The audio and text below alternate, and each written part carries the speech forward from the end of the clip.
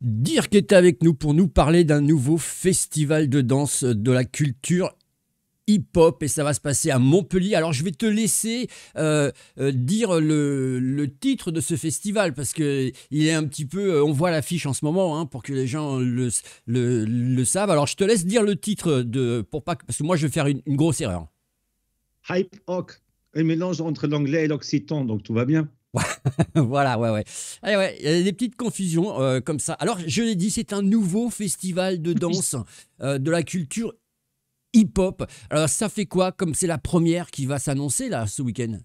Tout à fait. Vendredi à dimanche, c'est la première fois qu'on lance cet événement. Il y a déjà d'autres événements hip-hop qui sont vraiment très, très cool à Montpellier. Là, c'est la première fois que ce qu'on essaie de faire en fait avec ce festival-là, on invite à vivre ces danses-là sous toutes leurs expressions. Le hip-hop à la base, c'est une culture de rue, c'est une culture de quartier, c'est un phénomène social qui est devenu un phénomène culturel mondial. Là, nous invitons à découvrir cette culture-là comme elle est. Ça veut dire que vous pouvez à la fois participer, vous pouvez danser, prendre des, des workshops, vous pouvez aller dans des jams, aller dans un battle, également découvrir la création chorégraphique. Vous pouvez vous instruire avec un très, très chouette film documentaire d'Arte. Donc, il y en a pour tous les goûts, pour toutes les familles, pour les aficionados, les aficionadas, et également les personnes qui ne connaissent rien du tout à cette culture-là. Alors, je l'ai dit, tu es directeur, producteur de cet événement, et tu fais partie de l'association Caminaction. Alors, deux, trois mots peut-être sur cette, euh, sur cette association? Vu qu'on aime beaucoup l'Occitanie, là, on est dans l'Occitanie-jamanisme, parce que c'est on aime bien les mélanges, on, aime bien les métissages et les créolismes chez nous. C'est un bureau de production, une, euh, une agence créative avec une plus-value sociale. Ça veut dire nous travaillons avec des chorégraphes euh, partout en France et à l'international, avec des compagnies, des chorégraphes de différents champs esthétiques, donc euh, hip-hop, mais également danse contemporaine, danse afro-contemporaine, pour leur production, leur diffusion nous portons ce festival-là. Nous avons également un projet socioculturel qui s'appelle Hashtag Je suis, qui, euh, qui œuvre pour la rencontre entre des personnes d'ailleurs et des personnes d'ici à travers la culture et la pratique artistique. Ça fait quand même pas mal de choses. Alors, euh, ça fonctionne comment? Par euh, système d'adhésion, si les gens ils veulent prendre part un petit peu à cette association? L'association, en fait, n'a pas vraiment un système d'adhésion. Nous travaillons à travers différents projets. Nous avons différentes manifestations. Par exemple, tous les programmes socioculturels, il y a une gratuité pour euh, tous les bénéficiaires. Ensuite, quand nous avons des manifestations, ils se financent à travers la billetterie, voire par les fonds propres qu'on réinvestit, mais dans les temps qui sont les nôtres, euh, où la culture vit un moment de tension. Donc, ce n'est pas évident et nous sommes pas mal de bénévoles aussi.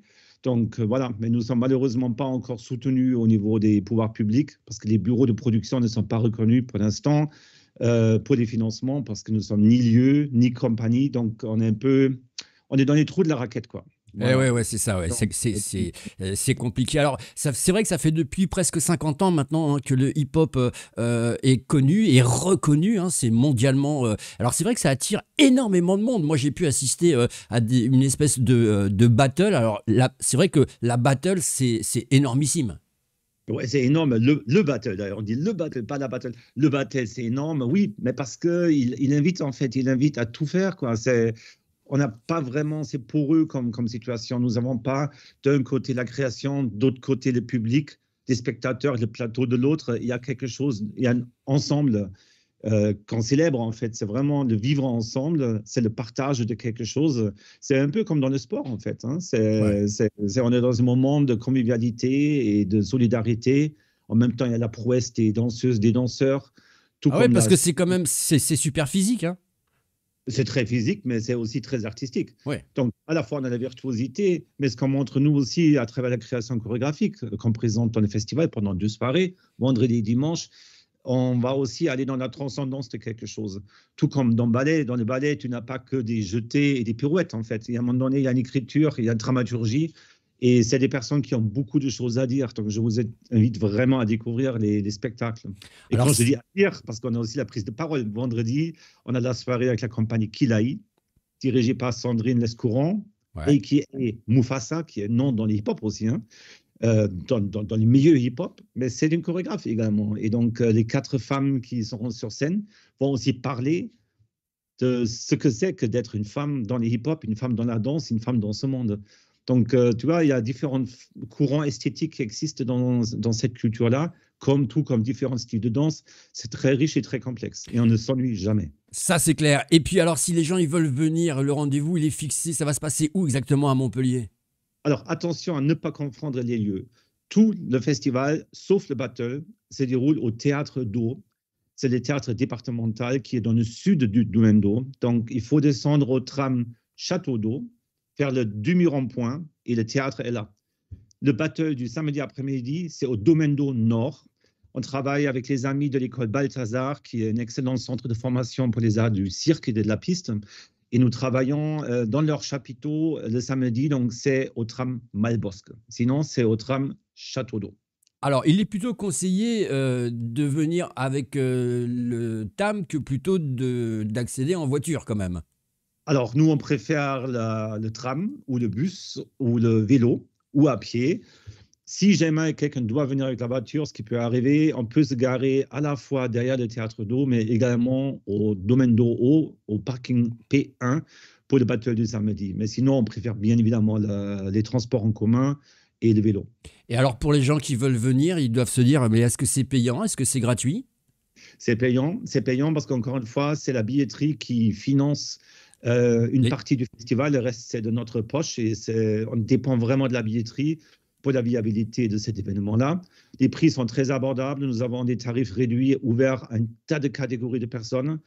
Euh, les tarifications euh, sont aussi avantageuses parce que vous avez des passes. Vous pouvez prendre une passe pour les deux spectacles, vendredi, dimanche. Il y a un pass qui comprend aussi le battle. Même pour les workshops, pour les ateliers de danse, il y a des passes et tout ça avec des tarifs réduits. Et nous avons une large politique d'invitation auprès des partenaires sociaux avec lesquels nous travaillons, les foyers, euh, des associations qui accueillent des réfugiés, voire des réfugiés LGBTQI. Nous travaillons avec euh, la CIMAD également. Donc, il y a pas mal d'invitations qui sont déjà lancées. Et pour le reste, c'est la solidarité, mais c'est très modeste au niveau des prix. Parfait. Bon, ça c'est bien, c'est bien de le signaler, mais en plus, ça c'est une énorme manifestation. Je vais te poser une question piège avant d'en finir. Euh, vendredi, samedi, dimanche, s'il y avait deux ou trois moments qu'il ne faut absolument pas manquer, ça serait quand pour toi? Vu que tu parles de trois moments, il faut vendredi, ni samedi, dimanche. J'ai fait exprès de dire trois moments parce que comme comme il y a trois jours, tu vois.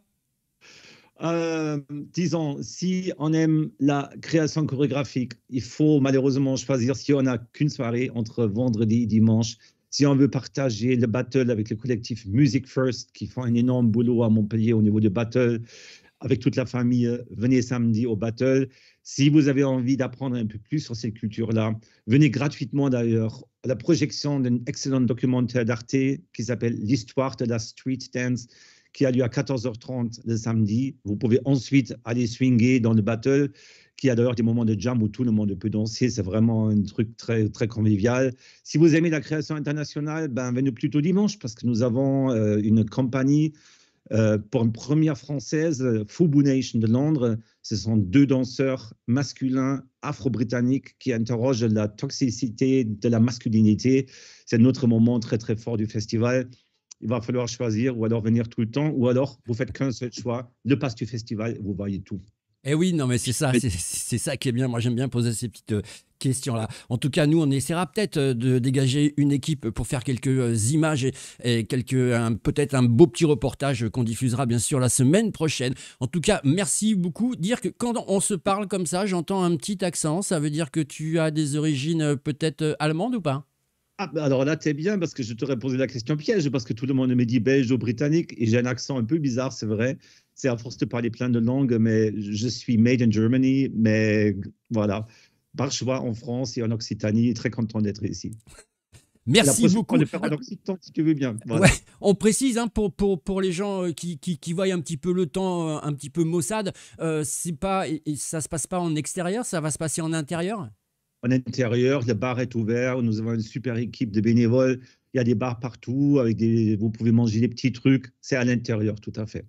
Allez, ok, super. Le rendez-vous, il est donné, ça commence dès ce vendredi 10 euh, novembre, 20h30, 20h30 pardon, au Théâtre d'eau, et puis euh, euh, samedi et dimanche.